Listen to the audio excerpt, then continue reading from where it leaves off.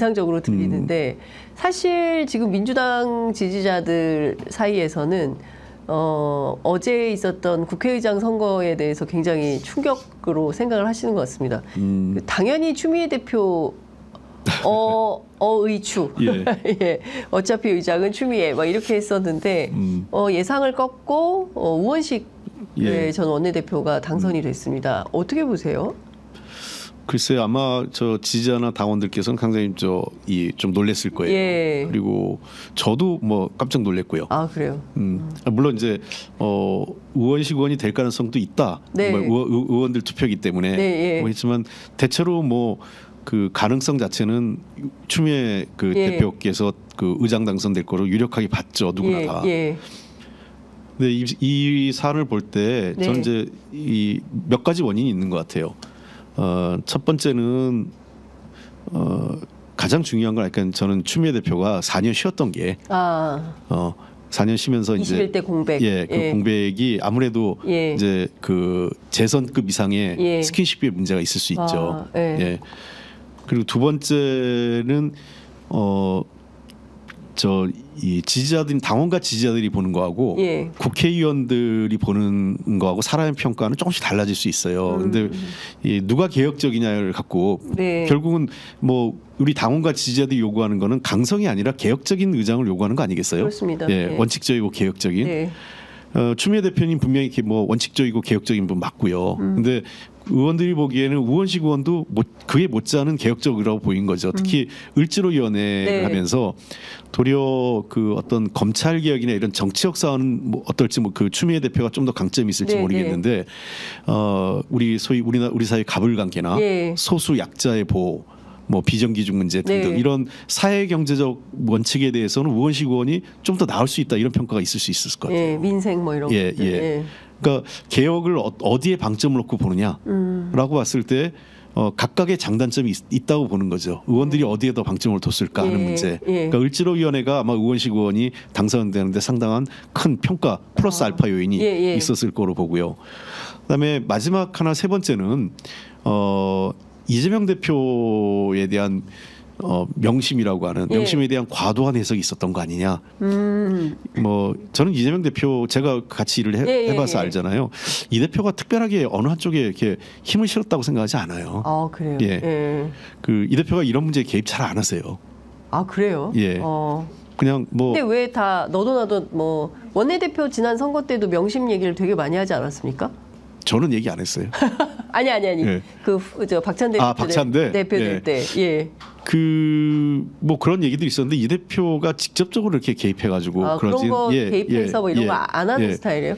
그러니까 누가 되든 상관없다 이런 건가? 사실은 그때도 원내대표도 그렇죠. 예. 뭐 박찬대 의원이나 예. 김성환 의원이나 김민석 의원이나 누가 된들 이 대표가 꼭 누가, 누가 되면 안 돼 이런 사람이 누가 예, 있겠어요. 예, 예. 그리고 이번에 국회의장도 마찬가지죠. 네. 조정식 의원이나 정성 의원이나 예. 뭐저 우원식 의원이나 저 추미애 예. 의원이나 이네 분 다 추미애 의원은 뭐 잘 그 가까운 관계이고 네. 우원식 의원도 선대보 위원장 했잖아요. 그렇습니다. 캠프에서. 예. 그러니까 다 가까운 분들이기 때문에 예.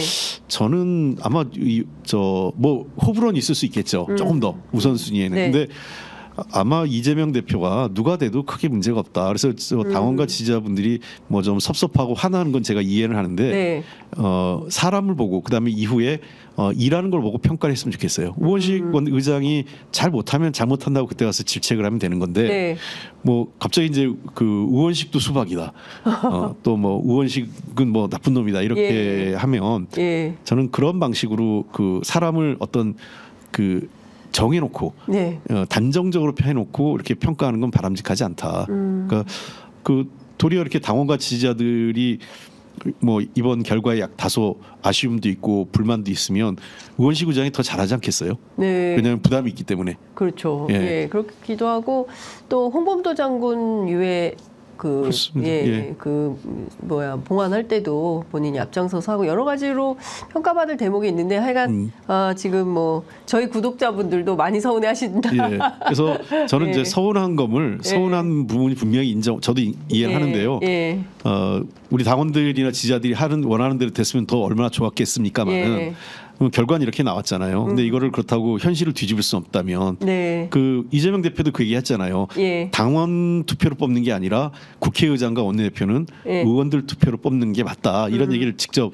우리 당원들하고 소통할 때 말씀을 하셨잖아요. 네, 그 네. 이유가 있는 거죠. 예. 이재명 대표도 그분을 존- 그 부분을 존중하고 있는 거고. 그래서 도리어 우원식 그 국회의장이 네. 어, 우리 당원과 지지자들의 아쉬움, 추미애 대표가 의장이 됐을 때 기대했던 그러한 모습을 우- 우원식 국회의장이 할 수 있도록 어, 계속 그 감시하고 어, 의견을 보- 보내고 그렇게 하는 게 중요한 거죠. 네. 홍익표 대표의 다음 도전은 서울시장 출마냐라는 아이고. 질문들이 막 나옵니다. 뭐 너무 과 지금 아직 임기가 아직 남아 있는 사람인데요. 예, 그- 그래도 뭐 이런 요구를 많이 받는다는 것은 그래도 좀 긍정적인 시그널 아니겠습니까? 정치인으로서. 글쎄요, 뭐 아직은 뭐 그 결정된 건 하나도 없고 예. 조금은 좀 어, 자연인으로서 예. 아까 강의도 하면서 예. 또좀 오래간만에 어, 그 어그 저 여러 사람들 만나서 대화도 하고 책 공부도 좀 하는 그런 예. 시간을 좀 가져볼까 싶습니다. 예, 그렇구나. 한간에는 뭐 요리 배우러 다니신다는 소문도 있, 있던데. 그러려고 그랬는데 예. 어, 요리를 배우려고 했더니 제 아내한테 많이 혼났어요. 사람이 갑자기 너무 한가해 보인다고. 예, 어. 그렇구나. 아니 이제 좀 이제 바쁜 정치권을 떠나서 음. 뭐 이제 학교로 가시면 이제 학생들하고 만나서 다양한 이제 젊은 학생들하고 호흡하면서 새로운 것도 많이 배우고 하실 텐데요. 끝으로 한 말씀 듣고 마무리하겠습니다. 네. 어, 이제 한 12년 정도 했기 때문에요. 뭐 이제는 이제 제가 좀 재충전할 시간이 온 것 같아요. 그동안 방전만 했기 때문에 좀 더 그 공부도 하고 저 자신도 좀 성찰하고 돌아보는 시간을 좀 가져야 될 것 같고요. 특히나 어, 지금 우리 사회의 가장 큰 인구 저출생 문제, 기후 변화 문제, 그다음에 이 젊은 세대 그 어떤 일자리하고 미래 네. 전략 산업 문제 이런 중요한 과제가 있는데 네.